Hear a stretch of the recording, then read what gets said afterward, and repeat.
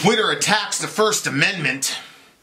And Vin finally agrees with Kamala Harris? Let's talk about it, y'all. Middle America. Well, Michelle Carter, who encouraged her boyfriend to kill himself, was released from prison early. The 23 year old served 11 months of her 15 month prison sentence after she was convicted of involuntary manslaughter of Conroy for Conrad Roy's death. Now, you might not have been familiar with the story. Conrad Roy was a young man, teenager, uh, had some suicidal ideation, and Miss Roy continuously encouraged that suicidal ideation to the point where the kid killed himself. She kept encouraging him to kill himself, and he did, and the texts were recovered, and then she was sent to prison. Now, some of you are saying, uh, I think we got the wrong video here because we're talking about Twitter banning Trump. No, it's the right video. Uh, the judge who gave that young lady a 15 month sentence, you know what's interesting? I didn't hear any protests about uh, free speech there. There is not a single protest about free speech for that young lady. Why? Because all of us know instinctively, even if you're not familiar with the law, and the uh, the uh, the the inner machinations of uh, the First Amendment. All of us know instinctively that when you have a mentally unstable person on a bridge and they're about to jump off, uh, the person who says, No, don't jump, we'll do whatever we can to help you, is a good person. And the person on the other side that's saying, Jump, jump, nobody wants you here, is a bad person. And that person, nobody would have a problem if somebody rolled up and removed that person from that bridge to preserve the life of the person about to jump off. Ladies and gentlemen, Mr. Trump cost the lives of five people two days ago. He did. This is directly on him. That's a fact. Ashley Babbitt and uh, the officer and the three other people that died with them that day would not have died were it not for Donald J. Trump. That's a fact. This man encouraged riotous, seditious behavior.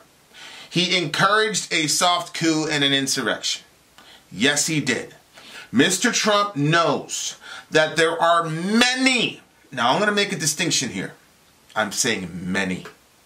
There are many in his base or in his constituency who are mentally unstable, almost to the point of nihilistically suicidal, who have delusions of grandeur, of being part of some neo revolutionary movement of which he is the head of. And he knows that those people are completely and totally unstable. And that is, I do not believe the majority of Trump supporters. I believe the majority of Trump supporters are basically people who uh, felt like, hey, let's give this guy a shot, he's an outsider. Or people like Leah, who's a very level headed, even keeled Trump supporter who uh, knows the difference between A and B. However, um, it is a responsibility of you stable Trump supporters to get the other ones in line. The problem is the other ones will kill you. They'll call you a traitor and bash your head in with a uh, with a fire extinguisher, which is how Officer Brian Sicknick left this world. They cornered brother, bashed his head in. He escaped with his life temporarily and then collapsed at the precinct, life support, dead. He's dead now. His family's burying him. Weren't we supposed to be black and the blue?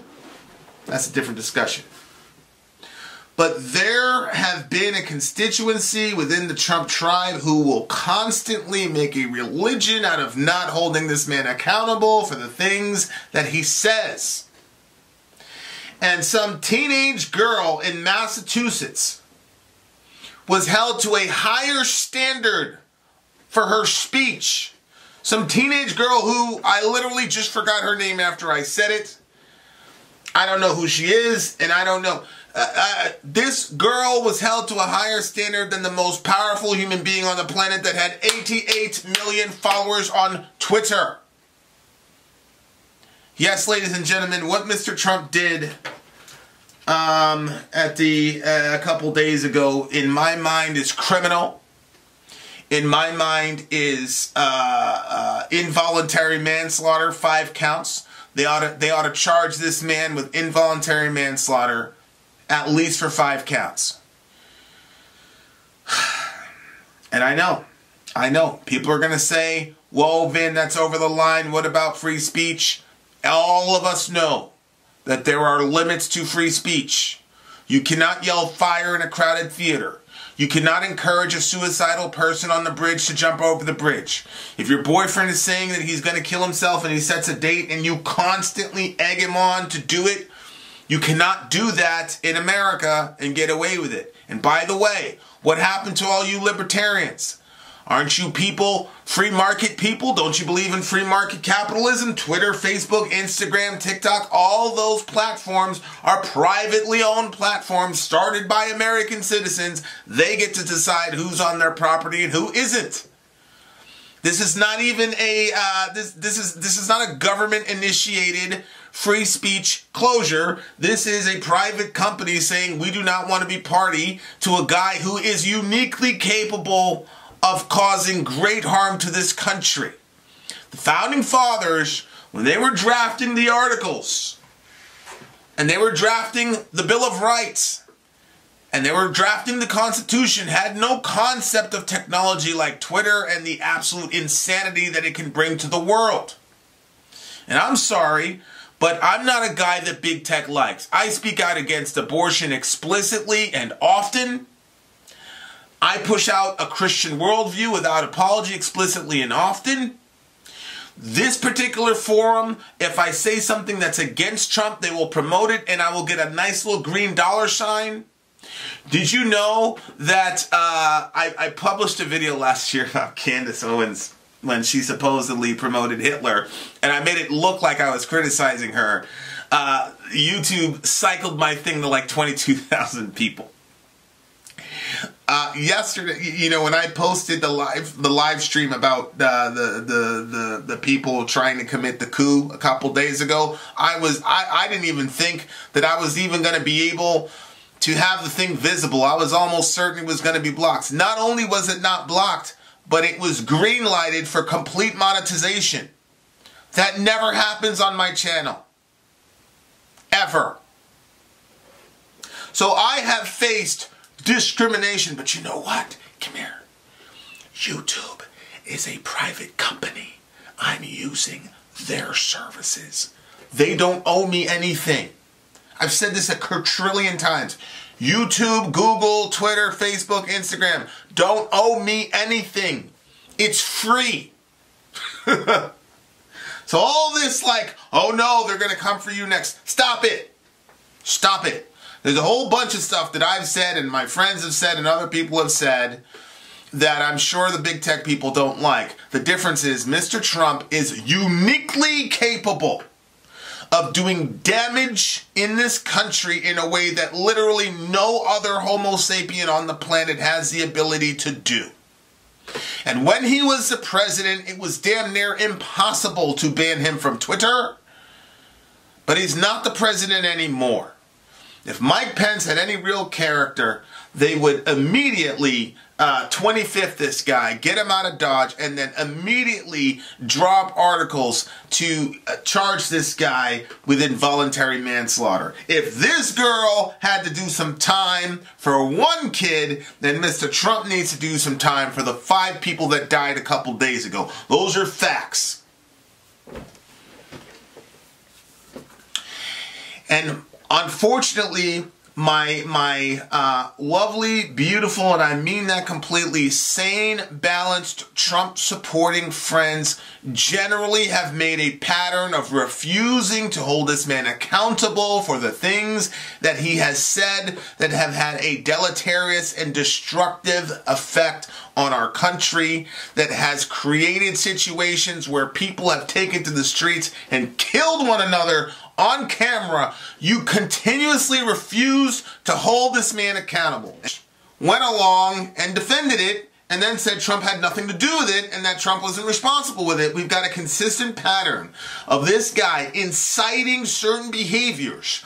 And then when those behaviors manifest in death and destruction, he gets to go back and say, hey, I didn't tell anybody to do this. Trump was the one that invited all those people he was the one that supported the Stop the Steal slogan. I don't think he came up with the slogan, but he definitely supported it. Stop the Steal it implies or explicitly states that Joe Biden is not a democratically elected president and that it was stolen. And how would you stop something like that at the state capitol, Mr. Trump? No, you ginned up, Mr. Trump, all that fury. You ginned up all that fury and then you let it loose over there. People on your team have already demonstrated that they were willing to pull guns on other Americans uh, in the street.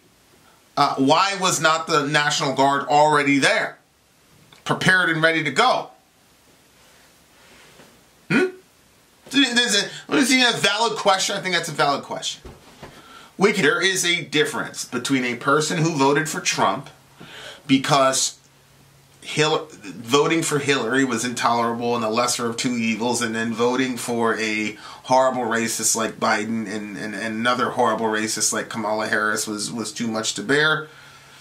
There are good natured, well intentioned people who voted for this man and voted for him again and support him. But there is a segment of people in his constituency that are not mentally stable. And he knows it. He knows they're not mentally stable. And he uses them whenever he sees fit to use them. There's a there's a there's a black hole whatever in uh, in the internet. I'm not even to name it but one of the things about if you're ever going to do some sort of media is that you got to admit when you're wrong.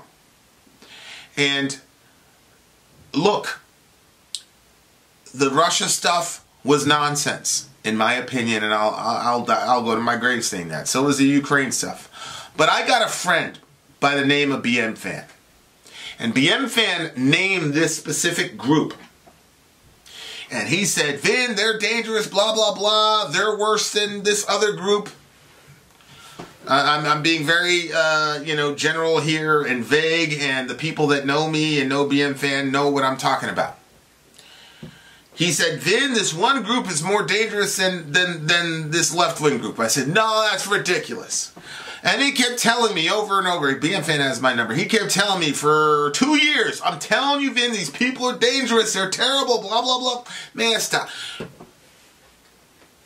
This Ashley Babbitt girl, 30 something years old, four tours, I think, 14 years in the Air Force. I went to her Twitter page, and this girl had almost no independent posts, no original posts of her own. She just kept retweeting this, and I'm not naming the, the, this guy. Go do the research yourself. She kept retweeting these crazy people. One of these people was saying that, that, that Pence and other people should be taken into a, like the firing squad and shot. Like this, this is like, this is like real world, like reverse French Revolution stuff. And this girl radicalized herself with the information from this group and, and basically they were allowed to do this unchecked and she got she essentially brainwashed herself with this craziness and she's posting about how the only way to stop it is January 6th and blah blah blah and on I saw the video of her getting shot. Dude had his nine pointed right at her, and what happened? She had her white privilege, and she thought she's like, yeah, I, I know he's pointing a gun at me. He ain't gonna shoot me, just like that other lady. They're only gonna shoot at BLM. The fact that Shorty took part in this type of an insurrection and was banging down the doors and, and, and really believed, even with a gun pointed at her face, that she was just going to be able to stroll through there tells you everything you need to know about white privilege. But that's a separate discussion. Now she's dead. Stop. Stop. If you're pro Trump, if you if you want to sit here and get all defensive and emotional about Trump, stop. She's dead. Stop. She's dead. And you're going to tell me who was the one that brought all those people there? Who was the one who knew that there are radical elements in that group, that the whole damn group itself was radicalized? Mr. Trump, when Kyle Rittenhouse went out and shot those people, he jumped in, well, that's self defense. And by the looks of the video, it was self defense. But why is our president going in and taking sides? Trump had already had the intel. Now, this specific group that BM Fan kept telling me about over and over, which I was dead wrong about, I completely underestimated their influence. I completely underestimated um, their ability to get people to self radicalize. These are dangerous people, man. I've never, ever, ever reported on it. To, to be honest with you, more I've done more reporting on left-wing violence and all the rest of it than this stuff. But this stuff was way, way, way more insidious and dangerous than than uh, the other people. The other people, the other group, the group that you know, whatever, they're at least they're connected to reality. I disagree with their methodology. They believe that they can use violence to whatever. I disagree with that methodology. But none of these people are strange, weird people. They're extremely intelligent people who understand what's going on, but their solutions are, you know, more Magneto and I'm more Professor X. But these people on the other side, these this far right right conspiracy hub of madness these people truly believe it. He sent, so I'm, I was venting to him during this whole situation that was happening. He's like, Vin, I told you, bro. I'm like, bro, you told me. And then he sends me the, I couldn't even finish scrolling through it. It's, it, it was a Reddit page dedicated to people whose uh, family members have been sucked into this vortex of insanity with this far right conspiracy nonsense.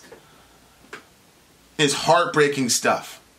And as I was reading it, I became more and more furious at this man. You mean to tell me some punk kid like BM Fan can know who this group is two, three years ago? And you're trying to tell me that Mr. Trump didn't get intelligence reports about these people? He knew! He knew!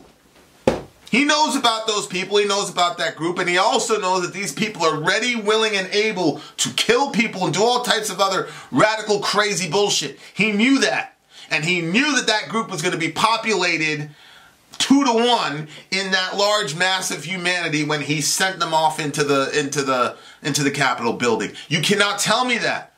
I've been saying this from the beginning on the channel. Mr. Trump, he's a lot of things, but he's not dumb. He's not dumb. He is massively intelligent and he's massively calculated. I've been saying that from the beginning. So unless you're going to tell me that Mr. Trump is an idiot he had to have known that he had radical members in that audience that were about to do some radical crazy shit. And he got those people ginned up. He sent them off into their into their to their death. And now Ashley is dead.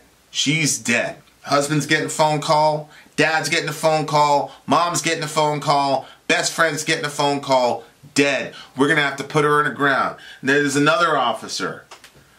There's an officer also who died. Officer Sicknick. Brian Sicknick dies from injuries in pro-Trump riots. They beat this guy over the head multiple times with a fire extinguisher. He made it to the precinct, collapsed, life support, now he's dead. Are you ever going to hold this man accountable for anything that he says? You know, there's nothing wrong with admitting that you were wrong. I say it all the time. Only God is omniscient. So what that means is, if God is omniscient and He's the only one, that means that there are times when you could be wrong. This miss this this underestimation of the violence of the of the of the alt right, the whatever you want to call it, these conspiracy nuts, whatever you want to call them, I was wrong. I should have reported more and more about it. We should have talked more and more about it. I was wrong. And if you are a person who supported Trump all through this time and never said anything, never held him accountable, listen, I'm about to show you guys a clip from a couple months ago. In this clip, we were watching the Democratic the, the debate between Trump and Biden. I'm not sure if it was where he told the Proud Boys to stand down and stand by. Maybe that was the second debate. But in this debate, the I think it was Wallace asked Trump. He said, "Mr. Trump, um, you, there's this there's this thing of poll watchers where some of your far right crazy people are going like being poll watchers and all that. Um, can you and and if you lose the election, will you tell people to stay? You know, just you know, just chill out and accept the results." And Trump encouraged the poll watchers, and I went off. Here's what happened. See, this is the thing that kills me about Trump. We're not even a month removed from Kyle Rittenhouse killing those people. Even- no, Rob Noxious, I'm not blowing his answer out of proportion. And this is the reason, this is the thing that gets me about Trump and his acolytes. This was a completely irresponsible move for him to do. And the fact that these people could never hold this man accountable, I don't know. You you want to turn on TV and hear more Americans are shooting each other and killing each other in the streets, bruh? because that's what's happening. And they never, ever, ever hold this man accountable. This is some dangerous shit, y'all. I actually love the hell out of this country. So I don't like to see my own countrymen hating each other so much that they're willing to kill each other. And if they're doing this shit before the election. So, so, uh, you, you had people in the comment section, come on, man, you're over. You come on, you're, this is dramatic. You're being over dramatic. And what's the last thing I said in the video? This is happening before the election. What do you think is going to happen after? So I didn't underestimate uh, the destructive nature of Trump's language, but what I did underestimate, and what I was dead wrong on, was how far and how deluded these people were. These people truly believed that they had the president's support in attacking our Capitol building. They truly believed it. Nobody is going to put their life and freedom at risk. And again, we've seen the videos of the cops gently escorting some of these terrorists down the steps, which I'm glad, by the way. The lady looked like she was in her 70s.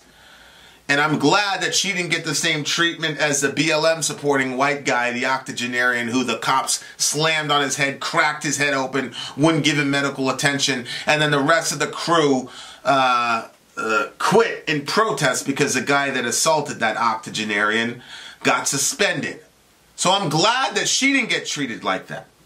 But there's uh, there's multiple testimonies of the terrorists that were there, and the insurrectionists and the seditionists that were there that talk about how the cops were very conciliatory to them. That's a different subject. But, guys, and this, you, you, you want to see how far this goes.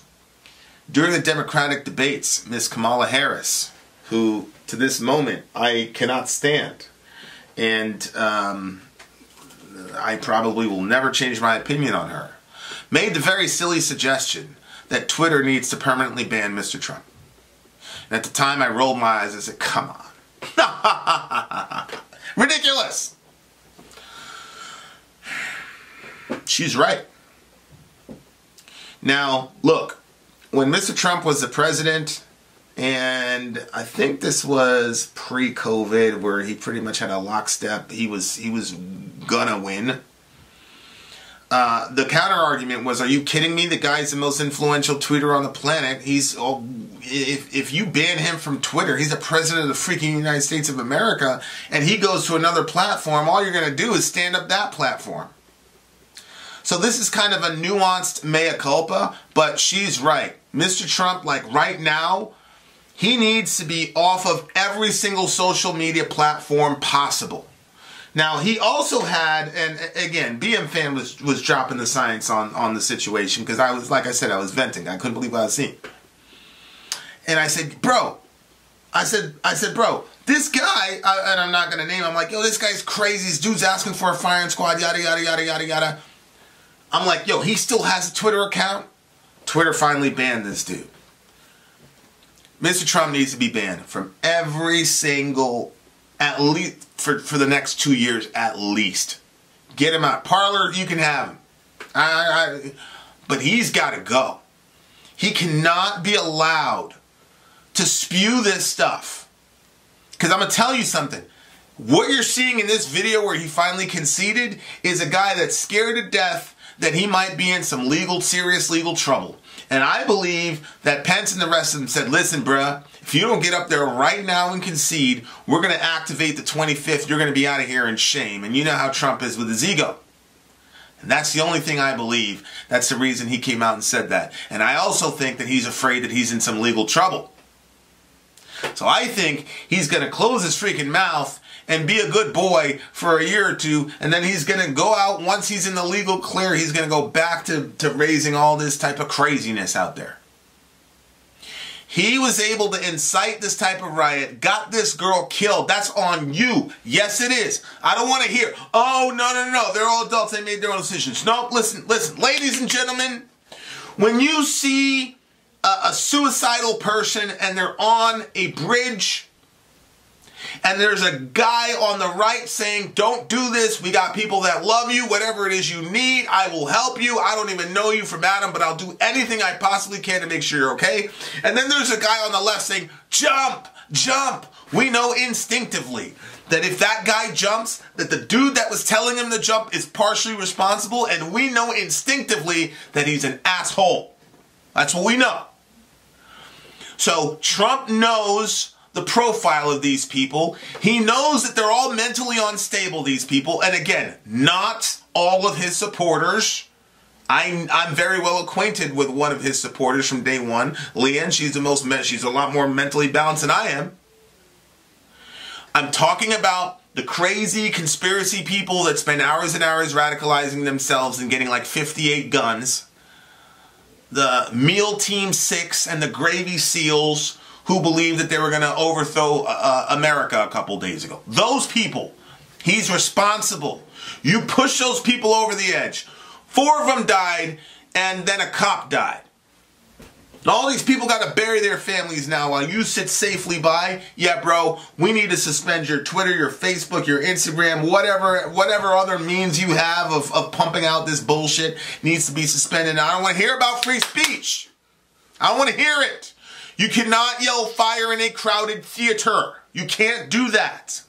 I cannot get on this channel and dox your name and your address and then tell people to go to your place and end your life. And let me, I'm not, I'm not to say that. I can't do that and not expect to hear a knock on my door. You can't do that. Now, you don't get free speech to incite riots and, and incite all these types of things, and then all these people end up dead, and then you just get to cruise on and go on with your life. Nah, bro, you don't get to do that, bro. Get, you're out. You're out. And you know, look, man, I, am a I'm a big free speech guy. We got something going on on the Middle America page right now, back and forth, blah blah blah. Um, nobody believes in absolute free speech. Nobody. Secondly, this is a private company. This is the, the, Twitter is not federal property. Facebook is not federal property. Aren't you guys capitalists? Don't you believe in the free market? Don't you believe in private ownership? Zuckerberg and the rest of these people can decide who's on their platform and who isn't. Facts. That's a fact. And he needs to be gone. He does not need to be around contributing to uh, the the discussion anymore. He needs to go, and we need to not hear from him and we just need to completely black him out. And he's probably going to end up in some underground bunker somewhere with with a bunch of other, you know, whatever, and that's fine. But as far as the major platforms, he needs to go, one hundred thousand percent. And all of us got to take stock in ourselves and what we put out there. It's got to be factual as best as you possibly can. Holy moly. Ashley Babbitt, I think her name is, rest in peace to her. The names of the um, the other victims that um, Mr. Trump caused the death of have not been released, um, other than uh, Officer Brian Sicknick. And now the irony of all of this is Trump sent those people to their deaths to serve his ego because he couldn't deal with the fact that he lost to Joe Biden. And in so doing has completely cemented his legacy forever. Everything that he has ever done for this country will be forgotten and the last two or three days will be the only thing left to remember him by. Unbelievable stuff. Look guys, this is not about beating up Trump followers or Trump supporters or whatever, whatever. This is simply about loving your country. We're in trouble. This guy is a serious, serious, serious problem. And uh, I hope to God that he just look, Mr. Trump. I'm sure you, you, you've accomplished a lot of great things as a president. And what you need to now do now is pack it in and go home. Go to Mar-a-Lago. As for the rest of us, love your neighbor. Love your neighbor. Take care of each other. Middle America, we are the media.